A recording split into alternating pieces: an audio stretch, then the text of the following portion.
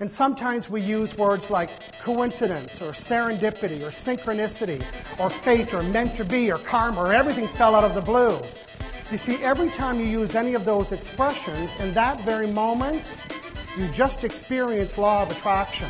It's called The Law of Attraction, and his book is just filled with advice on how to make it all work for you. Imagine deliberately attracting more of what you want and less of what you don't want.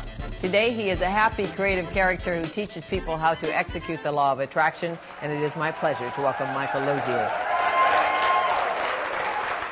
It's all about vibes. You know how sometimes people say, I get a good vibe when I walk by this building, or I get a great vibe or a bad vibe when I talk to somebody? Well, that vibe is actually the feeling or the mood that you're picking up from somebody. So, first thing I want to bring to your attention is the definition for law of attraction. It's quite simple. It states, I attract to my life whatever I give my attention, energy, or focus to. I just resonated to his words. He was just wonderful.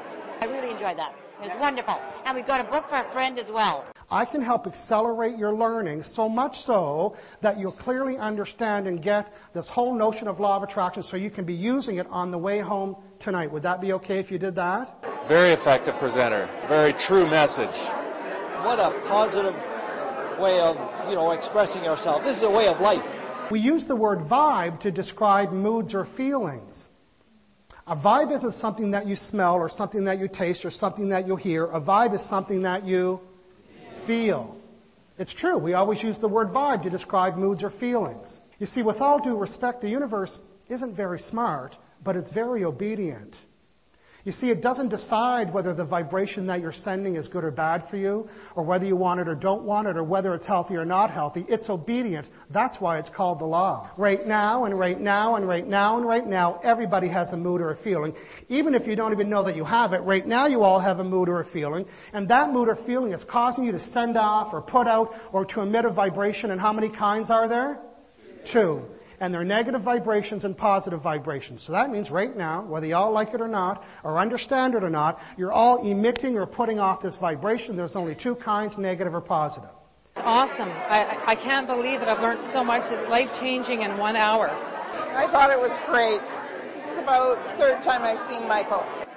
Michael's presentation helped remind us of what the tools are to be successful in life, to be happy in life. So I just feel very fortunate that I had the opportunity to be here today. You can physically feel that you're not in vibrational harmony with somebody just by having a conversation with them. So here's my little motto the family that vibrates together stays together. So when anybody ever tells you that you're the most uplifting person in your life, that is a compliment. What they really mean is that you made them raise their dial to match yours. And I promise you, when you have your dial and you set it in and you lock it in at 98.5, you will attract 98.5s. What you're really here to learn is how to remove doubt. The presentation was awesome, um, very enlightening. Can't find a better teacher. I've known all these things all along, and now it's given me the opportunity to be able to actually hear it and know and implement it into my life. It was very uplifting, but most of all, extremely educational. Know what you want, give it attention, energy, and focus, and become a scorekeeper. Matter of fact, I would encourage all of you that are going to be following this process with anything that you want to attract, is that you start keeping score.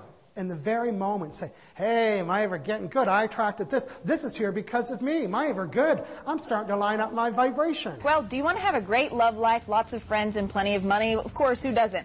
One man says, though, it's simple if you know how to apply the laws of attraction. You don't always get what you want, but you always get what you vibrate. So thank you very much, everybody. That was fun. Thank you. Thank you.